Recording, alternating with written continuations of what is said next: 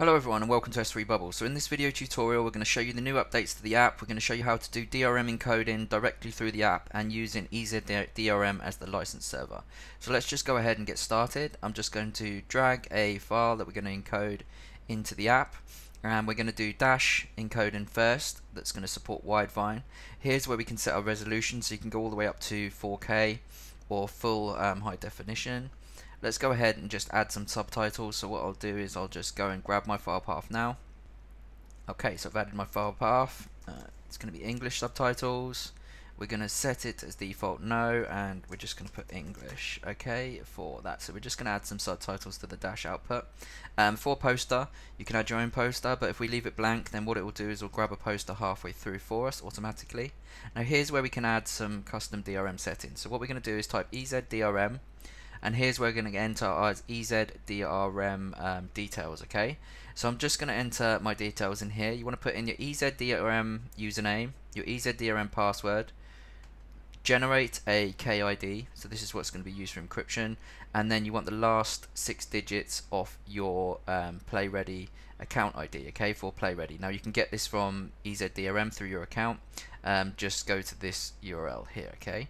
So I'll just do that now Okay, so I've put in my EZDRM username, I've put in my EZDRM password, I've generated a KID, and I've put in the last six digits of my play ready ID that I've grabbed from my EZDRM account. Okay, so the last six digits here. Okay, so let's go ahead and go next. And here's where you can add titles and descriptions if you're using the S3 Bubble plugin. But what I'm going to do now is um, I've connected to AWS. Now, if you haven't connected, go up to AWS in the top hand corner, top left hand corner, sorry, and connect to AWS um, and it's connected to your S3 Bubble account and what we'll do is we'll go ahead and I'm going to select my Amazon details now okay so I've selected an output bucket um, I've generated an ID for the folder and it's automatically selected a CloudFront distribution related to this bucket. So if you don't see a cloud distribution here, make sure you go ahead and add a CloudFront distribution to your bucket.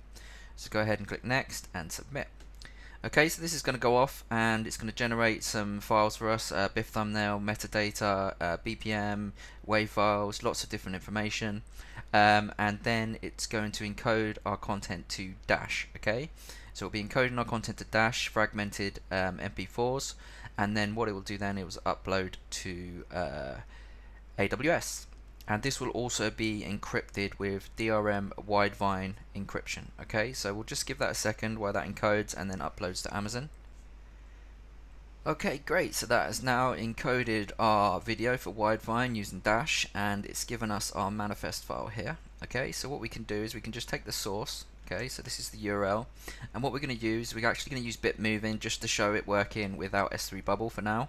And um, here we can just go ahead and we put in our manifest URL okay? And then for your license server URL you can get this through the EZDRM dashboard uh, but we have details on S3 bubble with this as well but you want to take the last six digits of your Widevine PX okay? So here we go so there we go and you can see that this is now working and now this is securely encrypted using Widevine DRM okay? Which will work on Firefox uh, Edge and um, yeah so that's all you really need and then it'll be working for IE uh, it will switch to play ready okay? So what we're going to do now is we're going to encode for Safari because Safari uses a different encryption called Fairplay and they use HLS so let's go ahead and we'll just take the same video okay? And uh, oh let's just go back and I can just show you that you know this will have also added our subtitles as well. So we've got our English subtitles there. Sorry just wanted to touch on that. So we've dragged our video in. We're going to be doing HLS this time um, not going to add subtitles or audio descriptions but I'll just fill in my um, details same as before and go next. Okay so I've added my bucket I've added a, a random folder ID and I'm using the same CloudFront distribution. So we can click continue and submit. Now what this is doing this will be creating a HLS job. Okay so this is encoding to HLS so what we'll do is we'll give it, it's also creating trick player files and um, BIF thumbnails, so for fast scrub that you can use with the S3 Bubble player. But we're just showing you DRM encryption working with Bitmovin and we'll do it with, uh, let's do it with JW Player for um, Fairplay because the Bitmovin demo doesn't seem to work with Fairplay very well. But this will work. So we'll go ahead and while that's encoding I'm just going to grab my URLs So you'll need your fair play certificate, okay, and then you'll also need your license URL, which we automatically generate for you via the app, okay. So let's just wait while this uploads all these chunks to AWS. Okay, great. So you can see it's uploaded our data. So what we can do now is we can go ahead and grab our manifest M3 M3U8 and then we'll paste it in here.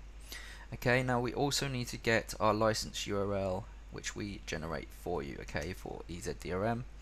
Go ahead and you want to put it under the process SPC URL. Now we can test the stream. Okay, now this is going to play, but what FairPlay actually does is it prevents screen recording. So you can see this is playing and this is working, but obviously because I'm screen recording this uh, video tutorial, you won't see the thing, but this is working, okay? So what we can do now is um, let's go ahead and finish, okay? And I'm going to show you this working with S3 Bubble. So I've just got a WordPress website here. I've got the S3 Bubble DRM um, plugin installed. So go to the WordPress plugin repository or just search for it, S3 Bubble DRM. And we're going to add a new post okay and we're going to start adding our DRM encryption okay so we'll put uh, let's put DRM okay and we're going to be using Widevine and uh, play ready okay and fair play now we do all the necessary um, processing needed to serve the correct um, Dash manifest for Widevine, um, Internet Explorer Play Ready, and Safari uh, for FairPlay. Okay, now S3 Bubble DRM on the widgets. Now we've got widgets for Elementor, and or you can just put the code in directly, or you can actually use this um, uh, standard uh, Gutenberg block editor. Okay, but let's go ahead. Open up the app. Okay, and then I'm just going to drag our intro in. Okay, and let's do Dash first again. Okay, And Shall I add subtitles? Let's just leave that for now. Yes, okay, so I'll add um, the EZ DRM details again.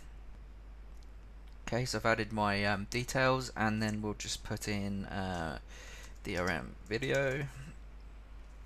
This is DRM. Now here's where you can add a VAST or VMAP if you're going to be serving advertisements. Okay, so you can add your VAST or VMAP file. And I'm just going to go and put in uh, the AWS details again. Okay, so same as before, bucket, random folder ID, and CloudFront. Let's click submit. Okay, now I'm just going to wait until this has encoded and uploaded.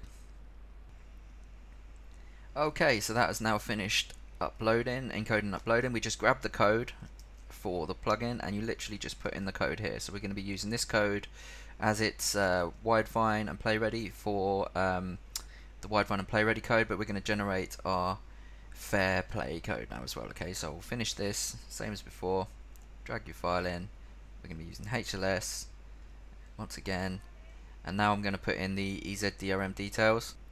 Okay, and here's where we can add, let's add a different one as we'll be using Safari. Um, Safari, just so you can see it's actually the player logic switches depending on what browser you're using. And just put this is uh, fair play because that will be the encryption we'll be using. And then I'll enter the AWS details in now. Okay click next click submit. And now what we'll do is we'll just wait until this has encoded and uploaded okay so you can see it's now uploaded and encoded to Fairplay. So what we can do is for Fairplay we're going to be using a different code okay? And what you want to do you want to take the ID off the end here okay? So you don't need the full URL just take the ID off because that's generated for you and here's where we can add ex extra information with WordPress where we can put our products behind WooCommerce. Um, so we can say you either want to be on one of the WooCommerce membership plans or you can just select the product. So you could just be doing a one-off live stream. It works with SVOD, AVOD, you know, um, or pay-per-view, pay PPV. And you can also add teaser times, which is great. So you can say, I want to allow them to see this video for say 10 seconds and then you can ask for payment. So a great way to monetize your media. Okay, so let's just publish that, click publish. Let's go ahead and view the post. Okay, so we go down, view our post. You can see we've got our video. You can see this says this is uh, DRM. Now if we click play, you can see that it's all set up with trick play thumbnails. Um, we've got all the Chromecast functionality, picture in picture, and then you have our members with um, our menu, sorry, settings menu where you can set like qualities, speed, captions, or everything that you need with a player. Now let's go ahead and take this code and what I'm going to do is I'm going to open up Safari okay and I'll just paste this code into Safari. Now if we scroll down with Safari you can see that this is saying this is Safari and this is Fairplay okay? So it's switched um, the DRM technologies depending on our browser. But again this is playing and it's working fine but you can see Safari blocks out screen recording. That's why you can't see the screen recording but you can see we've got Apple um, AirPlay working here okay? So that's how you get everything set up with the plugin. It's as simple as that. Like you said we've got Elementor um,